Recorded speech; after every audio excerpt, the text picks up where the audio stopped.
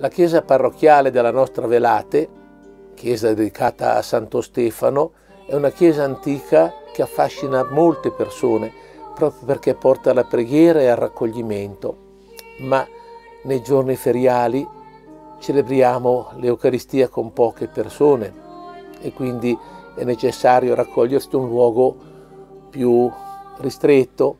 Ecco quindi l'uso di questa modesta cappellina dedicata a Sant'Arialdo, difficile da individuare per chi non è di Velate.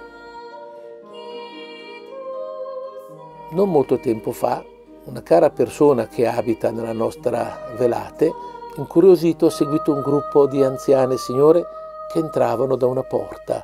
Sono entrato in questa piccola aula che mi sembra un po' un'aula del nostro catechismo, no? del nostro oratorio, eh, e sono rimasto folgorato dall'umiltà, dalla semplicità del luogo e quindi è nata questa, questa idea di dire ma sì, perché non fare qualcosa per gli altri, con gli altri. Tu mi hai detto qui va crocifisso, allora io mi sono precipitato subito in studio e mi sono messo a tagliarlo con i falegnami e poi in studio ho mollato tutti i lavori che avevo in, in, in essere in, questi, in, questi, in quei giorni e mi sono, ho fatto due giorni e mezzo di lavoro Sì, con- che- senza che mai... dicendo, la croce è pronta. Sono pronto. Come la croce è pronta? Sì, sono pronto. Ma non avevo neanche cominciato a...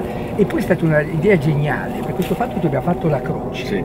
Abbiamo, eh, ha fatto poi nascere il discorso che intorno a questa croce va fatto dell'altro, cioè dobbiamo in qualche modo costruire lo spazio intorno a spazio questa che croce, senza però modificare questa idea, questa, questa, insomma, eh, memoria del catechismo. E mi pare che ce l'abbiamo fatta. E, eh, il- I nostri due architetti, Nicoletta e, E Paolo, Paolo, sono hanno- stati molto sì. bravi. Dal primo incontro che abbiamo fatto eh, a Velate eh, abbiamo subito capito che il nostro primo atteggiamento doveva essere quello di eh, ascolto. E siamo subito resi conto che questo luogo aveva- doveva essere ascoltato, aveva qualcosa in sé di importante e abbiamo cominciato a guardare il luogo, ci siamo, abbiamo capito che aveva qualcosa di particolare. Sì. Allora abbiamo cominciato ad ascoltare lo spazio e abbiamo cercato di, di captare l'essenza. E poi è entrata l'opera di Giorgio e l'opera di Giorgio ha eh, veramente dato il primo segno al progetto, lo ha consolidato eh, in quello che era già il nostro pensiero.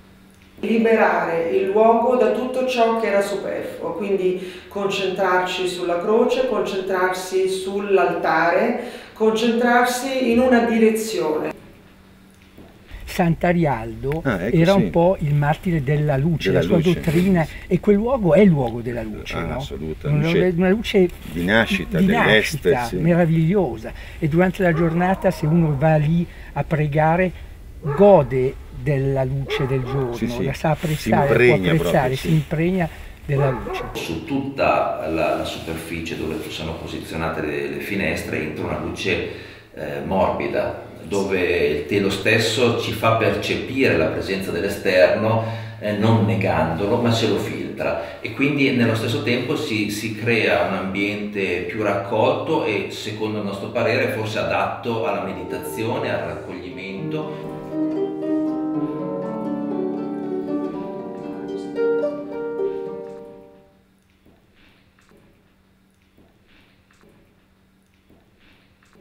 Nell'uso del colore ehm, che, che praticamente troviamo nella parete frontale dove poi è collocata la, la croce, la bellissima croce di Giorgio e nella nostra volta dà proprio un senso di asc- ascetico, insomma, del- di, di- di pensiero, eccetera. L'obiettivo era proprio quello di eh, trovare l'anima, proprio far venire fuori l'anima e l'anima eh, eh, nel suo essere etereo, nel suo, nel suo volare, nel suo, ehm, nel suo stare al di sopra di- delle cose.